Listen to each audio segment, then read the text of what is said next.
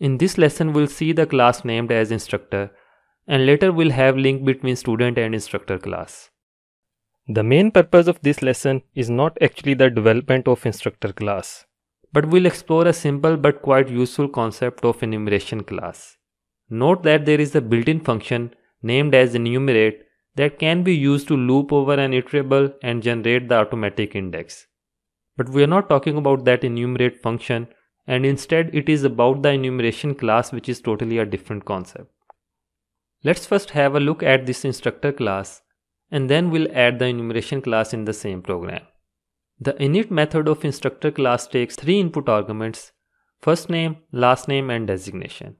Inside method on line number 7, an attribute courses is set to empty list. Later we'll append the courses assigned to an instructor inside this list. Then we have repr method to properly represent an instructor. On line number 2 is the list of designations an instructor can have.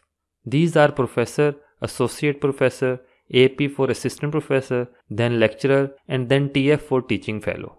When an instructor is created, his designation must be from within this list. To ensure that, we should add getter and setter method for the designation attribute.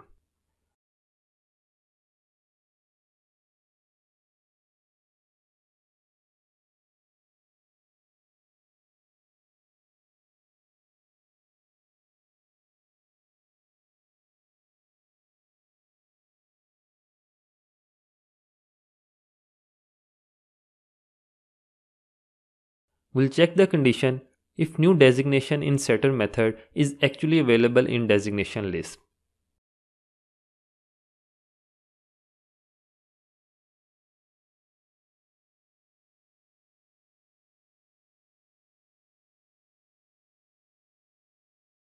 And if not, we'll raise the value error.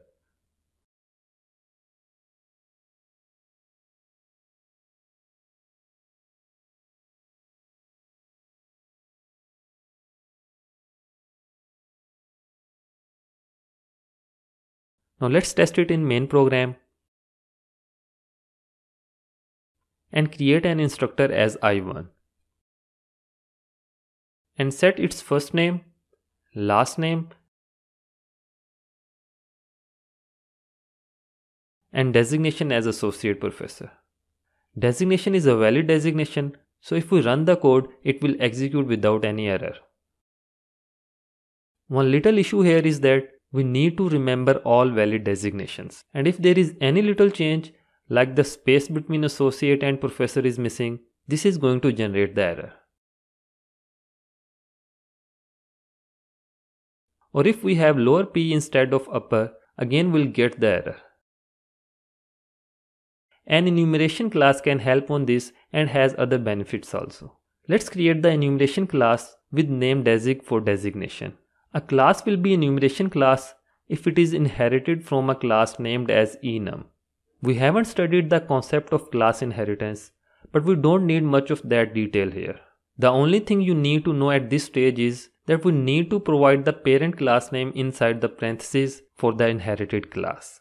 For enumeration class, the parent class name is enum. So we'll write that here. This enum class is available in enum module, so we must import that.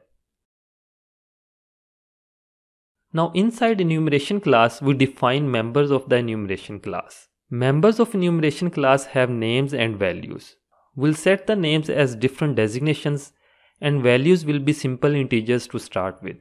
The names of the members are like the variable names and follow those naming rules. The values can be of any data type.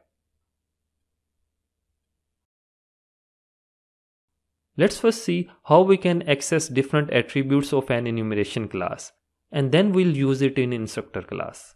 Firstly note that the members of the enumeration class are actually the objects of that class. We can access those using the class name followed by a dot.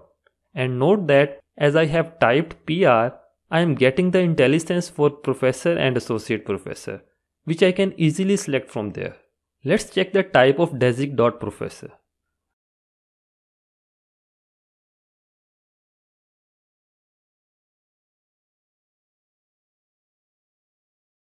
and you will see that it is printed as object of enumeration class desig.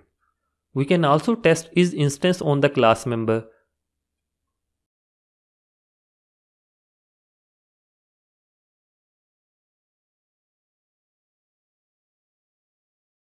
And it will print true.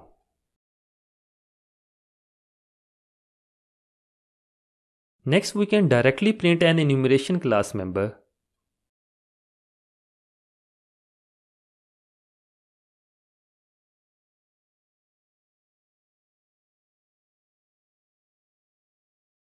Let's also test repr on the member and this time it will print the complete detail of the member as its name and the value.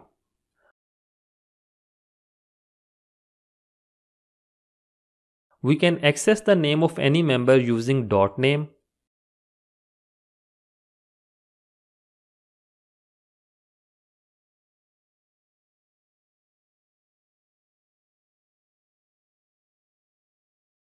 and we can access the value using dot value.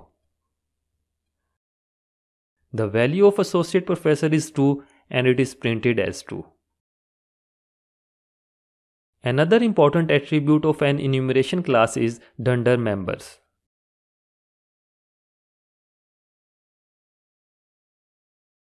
It returns all members of the enumeration class as a dictionary having keys as member names and values as the values of those members.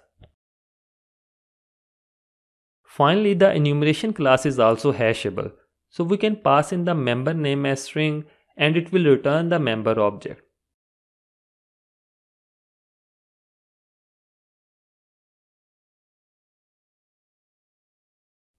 we can use dot name or dot value with the member object in this format.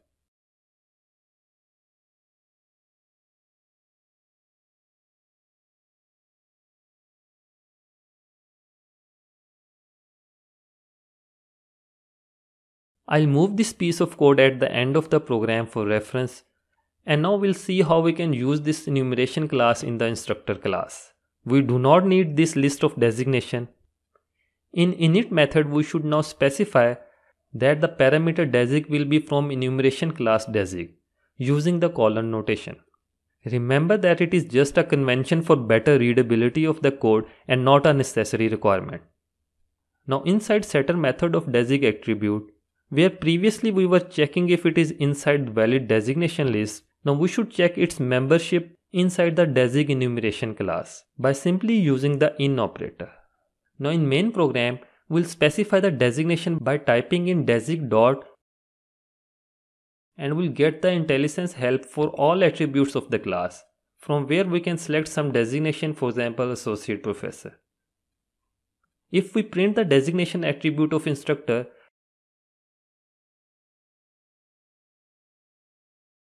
it is printed as desig object associate professor. But if we try to specify a designation as a string, for example lecturer, which is a valid member name, but it will generate an error because we cannot use in operator between a string and enumeration class. However, if we want to add this feature that desig attribute may be passed as desig member or a string, we can update the setter method we can check if the input designation is a desig class object. We'll get the name attribute of it, which is a string. If the input designation is already a string, we don't need to do anything.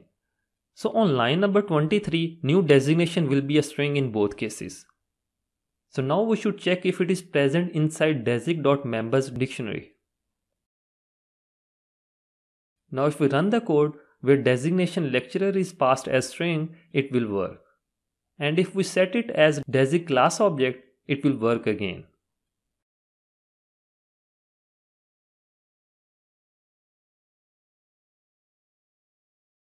Note that the value being assigned to underscore desig attribute on line number 24 is a string.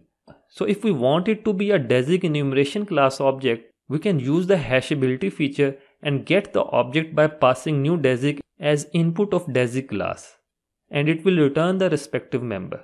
So now if we run the program, the output is desig class object as desig.associate professor.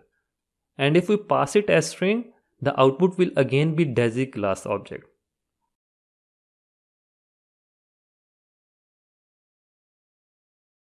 We have seen one use of enumeration class where we get better coding help for setting some values. Now let's see another benefit of it. For that, we will change the values of enumeration class members. Note that we assigned simple numbers as values. There is also another way to assign numbers as values and that is by using auto function. That auto function will automatically assign a different number to class members. You can explore that by yourself if interested. What I'll do here is that I'll assign meaningful values for the members as strings which will be the complete designation.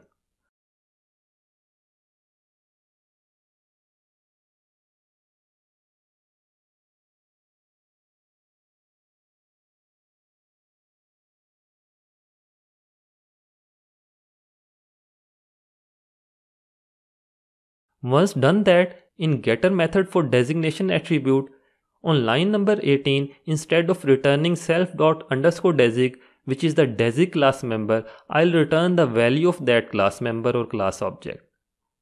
Note that on line number 24 of setter method, desig class object is assigned to underscore desig attribute. And on line number 18, the value of that object is returned and not the object itself. So now if we run the code, you will see the complete name associate professor.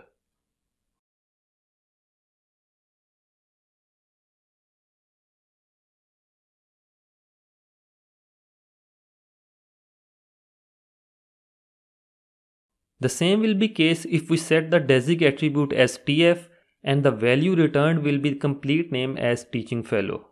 So in program we'll be able to use short names as AP or TF and they will map to complete names as assistant professor for AP and teaching fellow for TF.